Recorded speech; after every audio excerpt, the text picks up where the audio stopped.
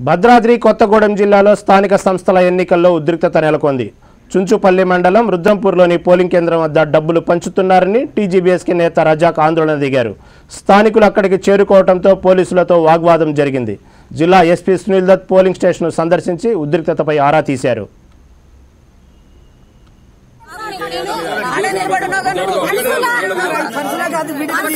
కదా నువ్వు.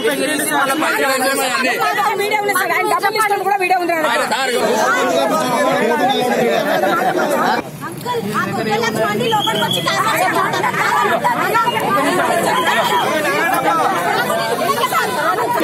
ఒక్క మాట వినండి, జావా, మీరు అందరూ దీన్ని కలిసి-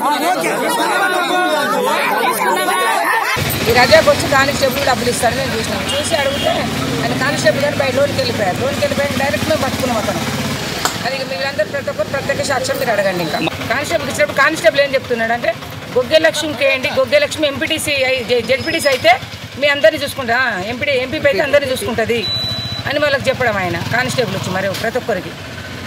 మేము కూడా కష్టపడి మేమందరం మా పిల్లలు కూడా బరిలో ఉన్నాం మా బస్తీ వాళ్ళు కూడా బరిలో ఉన్నాం మాకు కూడా ఉండదు అని బాధ. చూసుకుంటూ మేము చెప్పినాం ఇంకేం చెప్తాము వాళ్ళకి? వద్దు చేసుకోండి మీరు డబ్బులు పంచుకొని మేము కాదనం ఇట్లా మా పోలీసు వాళ్ళకి మీరు ప్రతి ఒక్కరు